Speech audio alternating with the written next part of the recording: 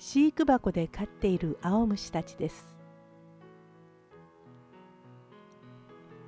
葉っぱを入れた直後は上から見ると青虫が見えますがだんだんと動き始めます。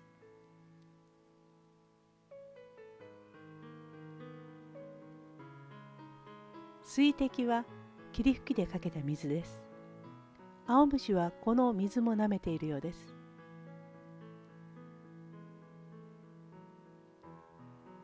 しばらくすると上から見るとほとんど幼虫の姿は見えなくなってしまいます。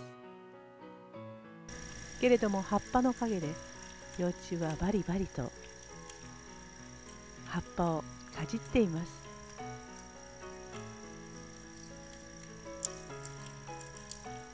ポトンと音がしたのは糞の音です。少し早送りにしてみましょう。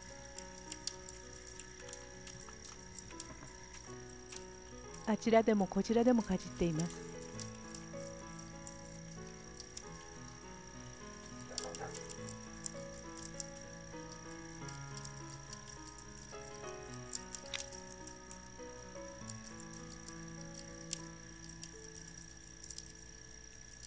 奥には黒い幼虫の姿も見えます。あれ向きを変えました。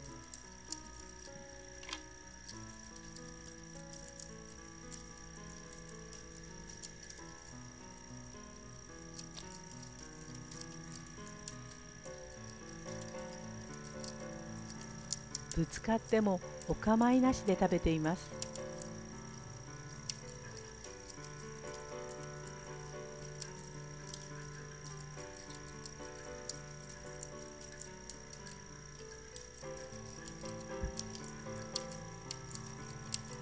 こうして半日で葉っぱはこんな風になって翌日にはほとんど食べるところがなくなってしまいます。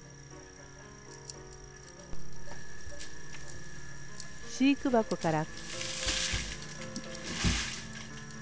食べた葉っぱや軸を出します。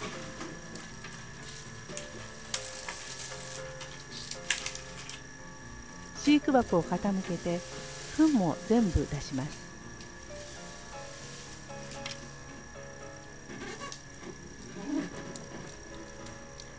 ここに新しく取ってきた葉っぱを入れます。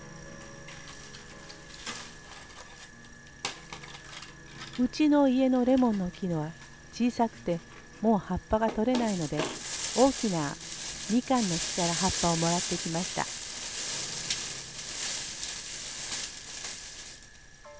みかんの葉っぱを飼育箱いっぱいに入れます。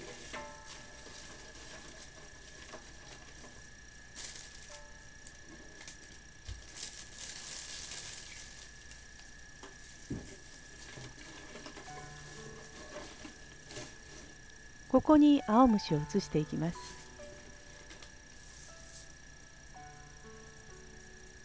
しっかりと枝にくっついています。一匹。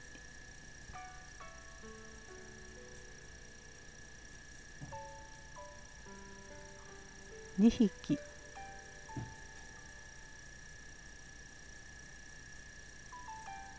三匹。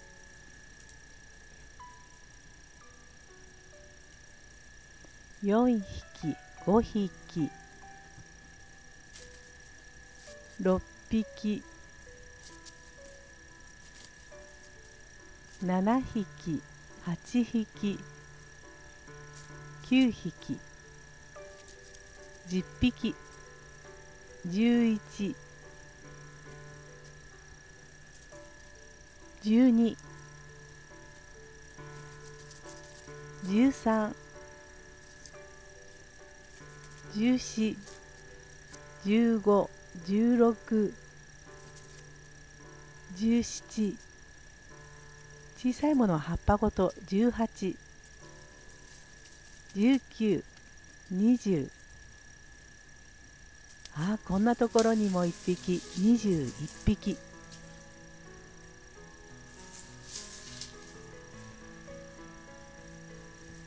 捨てようと思っている葉っぱもよく見ると小さな幼虫が残っていました。これで22匹です。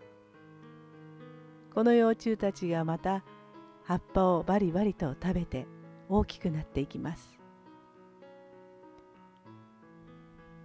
さなぎになっているものもあります。こちらは落っこちそうですね。は蓋の裏にさなさなぎを作ったものもいます。おかげでレモンの木はずいぶんさっぱりとしましたが実が少しずつ大きくなっていっています。